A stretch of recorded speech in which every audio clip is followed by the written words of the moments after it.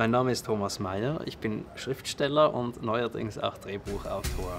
Mein Name ist Mordechai Wolkenbruch, kurz Motti. Motti! Ich habe mich irgendwann gefragt, woher all die jüdischen Namen kommen, habe recherchiert und dabei herausgefunden, dass Juden, wenn sie in deutschsprachige Gebiete einwanderten, äh, aufgefordert wurden, jüdische Namen anzunehmen. Ich habe mich gefragt, was hätte ich mir denn da zugelegt und fand, äh, ja, Wolkenbruch wäre ein guter jüdischer Name. Und das hier, das ist ein arrangiertes Treffen.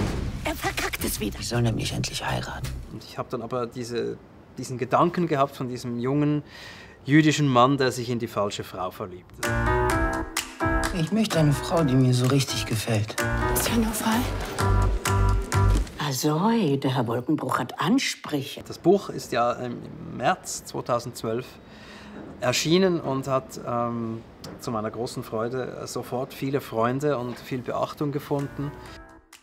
Das Radio hat darüber berichtet und ich glaube einen Ausschnitt äh, gesendet aus meiner Lesung in, in Solothurn. Und Hans Sietz, äh, der Produzent von Turnus, hat diese Sendung im Auto gehört und fand, das muss verfilmt werden.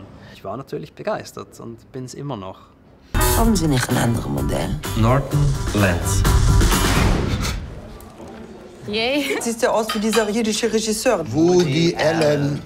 Michael Steiner äh, ist, ist ein sehr talentierter äh, Regisseur.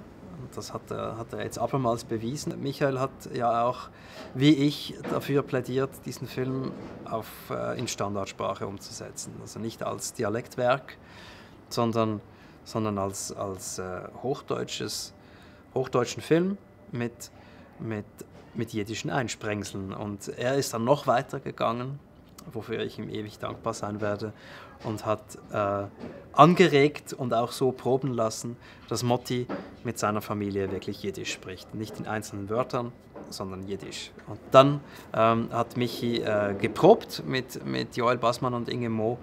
Ähm, und die haben Jiddisch gesprochen. Ich bin da dazugekommen und fragte ihn, was, was er da mache. Er kenne doch die Haltung der Produktion. Und er fand, das sei geil und ich solle ihm vertrauen, er mache das schon. Er, er überredet die dann schon. Und ich weiß bis heute nicht, wie er es gemacht hat, aber es ist ihm gelungen. Was sagt Ihre Mutter dazu, Herr Wolkenbruch?